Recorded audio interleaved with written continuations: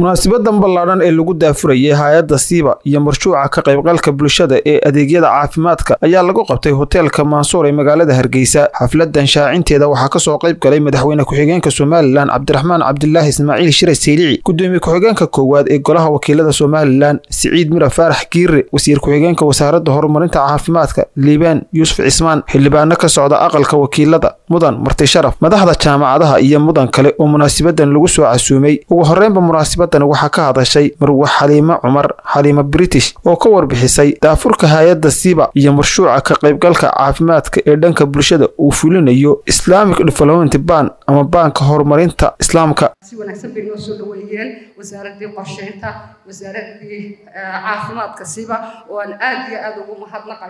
wasiirka wasiir ku-xigeen liibaan agaasimaha guud doctor xergeeye si uu aad iyo aad wanaagsan bay noo soo dhaweeyeen loona dhiirigeliyeen anigoo guddoomiye ana maadaama ay ahayd professionkaygii waayo aragnimo badan oo afartan sannadood aan ku soo jiray howlaha caafimaadka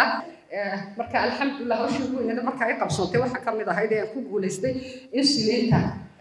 oo beriga si aan toos loogu keeni jirin maadaama aan layna aqoonsanin oo dagaal weynaan u galay oo alxamdulilah kolkii aan ku guulaystay insulintii somaliland toos qolada nofa nordiska laydhaa ee caalamka oo dhan u samaysaa inay noo keento oo qiimihii oo shan iyo toban dollar ahaa aan markaasi gaadhsiiyey lix dollar cisbitaalkana aan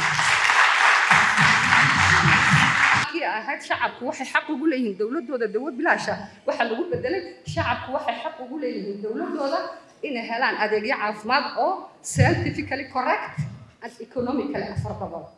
Inay u soo helaan dawada ugu wanaagsan ee tayadeedu saxan tahay waayo iyagaa ka mas'uula wasaaradaha iyo xukuumaduhu haddii shacabkoodii dawo camaysa laga iibiyo. Iyaga mas'uuliyadoodii markaa inay dawo saxan u soo helaan economicalina affordable geestooda iyana waxaa halkaasi ka hadlay mudankii mati sharaftii iyo mas'uuliyiintii dowladda ee munaasabadan lagu soo casuumay. Madaxweynayaasha africa oo dhan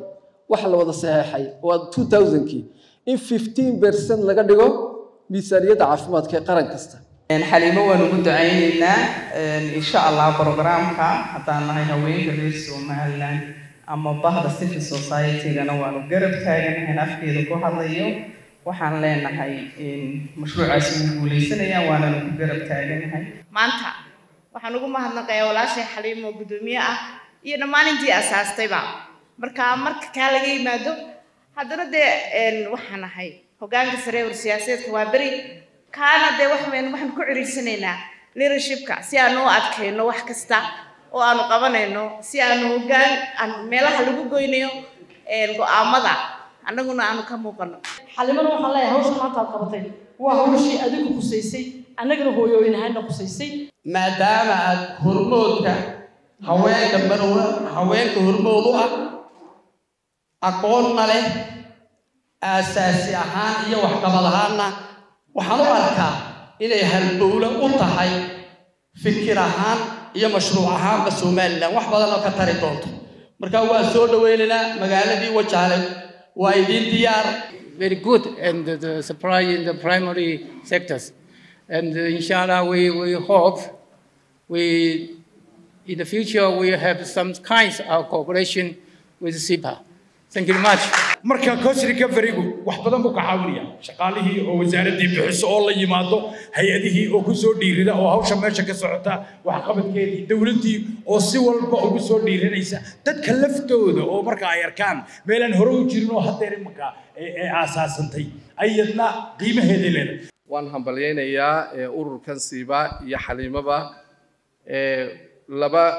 muhiimadood oo waaweyn oo uu leeyahay baan hoosta ka taabanayaa ama aan hoosta ka xariiqayaa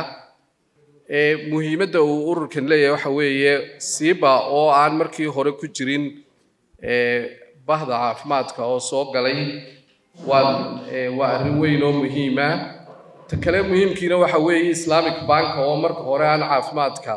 isaguna ku hay'adaha ku jira aan ahayn oo soo galay labadaasiba runtii ammaan bay mudan yihiin oo waan hambalyaynayaa mashruucan ay waddo xalimo sidaa ay horeba uga sheekaysay coscript coferigu ahaa hawl in muddo aba wasaaraddu ay ka fikiraysay laakiin caqabadaheegalena iyadana in dee ay wasaaradda la timaado wax la iska yidhaahdo runtii waan soo dhoweynaynaa xalimo runtii waxaa la idhaahdaa raganimadu waa dantaamogi iyo inta qofka qoyskiisa ka soo hadha waa qof halgan ku caanaa iyo inay qaranka wax badan la qabato marka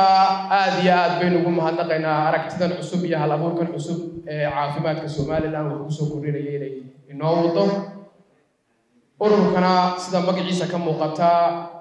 patriotic action somaliland patriotic international patriotic action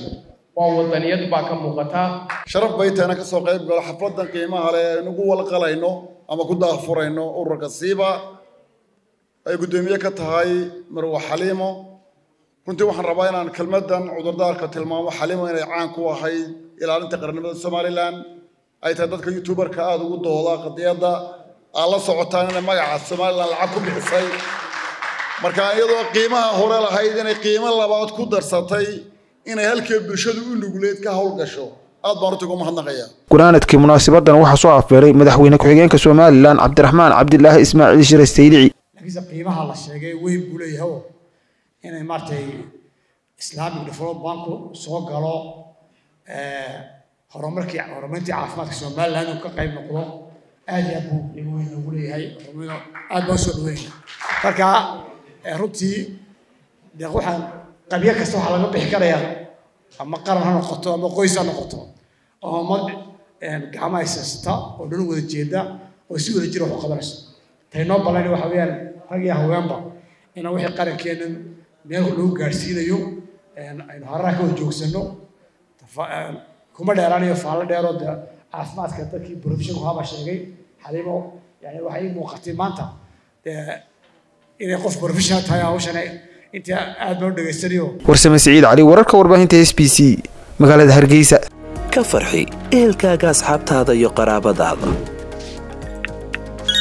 Oo la soo deg abka dahabshiil si aad si fudud lacag ugu dirto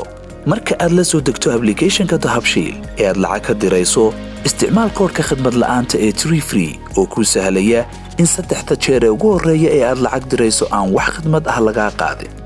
Dahabshiil howlfudaydiyahaaga maaliyadeed